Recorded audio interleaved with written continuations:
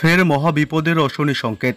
এইমাত্র ক্যাটাগরি চারের ভয়ঙ্কর শক্তিশালী ঘূর্ণিঝড়ের সতর্কতা জারি করা হলো। সমুদ্রে ফুসছে এই ক্যাটাগরি চারের ঘূর্ণিঝড়।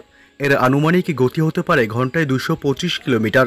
আগামী আটচল্লিশ ঘণ্টার মধ্যেই স্থলভাগে এই ঘূর্ণিঝড় আছড়ে পড়ার প্রবল সম্ভাবনা। এই ঘূর্ণিঝড়ের জেরে চলবে বিধ্বংসী তাণ্ডবলীলা এই ঘূর্ণিঝড়ের গতিবেগ বেশি হওয়ার ফলে প্রচুর ক্ষয়ক্ষতির সম্ভাবনা।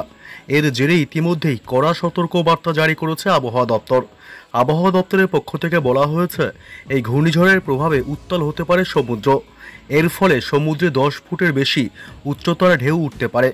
তবে কবে, কখন, কোন কোন উপকূলে আছড়ে পড়বে এই শক্তিশালী বিধ্বংসী ঘূর্ণিঝড়? এই ঘূর্ণিঝড় যখন উপকূলে আছড়ে পড়বে, তখন এর গতিবেগ কত থাকবে? কেমন হবে এর প্রাকৃতিক ধ্বংসলীলা? কোন কোন কোন এলাকায় সতর্কতা জারি করা হয়েছে? পাশাপাশি পশ্চিমবঙ্গে আগামী পাঁচ দিন কেমন থাকবে আবহাওয়া? কোন কোন জেলাগুলিতে ঝড় বৃষ্টির সম্ভাবনা রয়েছে? সবই বিস্তারিত জানিয়ে দেবো এই ভিডিওতে। বিস্তারিত জানতে হলে ভিডিওটি অবশ্যই শেষ পর্যন্ত দেখবেন। আর সবার আগে সবার প্রথম, আপনার জেলার লেটেস্ট খবরগুলি জানতে আমাদের ইউটিউব চ্যানেলটি সাবস্ক্রাইব করে সাথে থাকবেন। পশ্চিম ভারত মহাসাগরে ফুসছে ক্যাটাগরি চারের শক্তিশালী ঘূর্ণিঝড়। এর গতি হতে পারে ঘন্টায় দুশো পঁচিশ কিলোমিটার। আবহাওয়া দপ্তর জানিয়েছে, এই ঘূর্ণিঝড়ের ফলে ধ্বংসলীলা চলতে পারে বলেও সতর্ক করা হয়েছে। ক্যাটাগরি চারের ঘূর্ণিঝড়কে মহাশক্তিশালী এক ঘূর্ণিঝড় বলেও চিহ্নিত করা হতে পারে।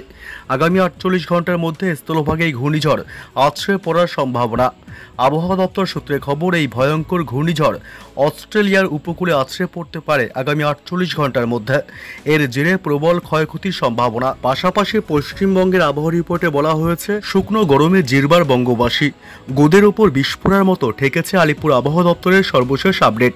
শহর কলকাতার পাশাপাশি রাজ্যের একাধিক জেলায় তাপ প্রবাহের সতর্কতা জারি করা হয়েছে। এই পর্বে আগামী ষোলোই এপ্রিল পর্যন্ত দক্ষিণবঙ্গের একাধিক জেলায় তাপ প্রবাহের সতর্কতা জারি করা হয়েছে। চৈত্র মাসের শেষের কদিন মারাত্মক পরিস্থিতি তৈরি করেছে আবহাওয়া। রাজ্যের জেলায় জেলায় তাপপ্রবাহের পরিস্থিতি। আলিপুর আবহাওয়া দপ্তরের তরফে বলা হয়েছে, আগামী ষোলোই এপ্রিল পর্যন্ত দক্ষিণবঙ্গের পাশাপাশি উত্তরবঙ্গের পার্বত্য জেলা বাদে বাকি সব জেলাতেই গরম এবং অস্বস্তিকর আবহাওয়া থাকবে।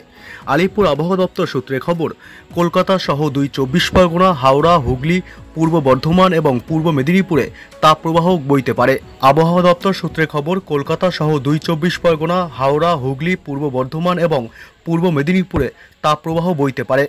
এরই পাশাপাশি চোদ্দ তারিখ থেকে ষোলোই এপ্রিল পর্যন্ত দক্ষিণবঙ্গের সব জেলার পাশাপাশি মালদহ এবং দুই দিনাজপুরেও তাপপ্রবাহের পরিস্থিতি চলতে পারে। তবে আবহাওয়া দপ্তর জানিয়েছে, এই মুহূর্তে বৃষ্টির কোনো সম্ভাবনা নেই রাজ্যে।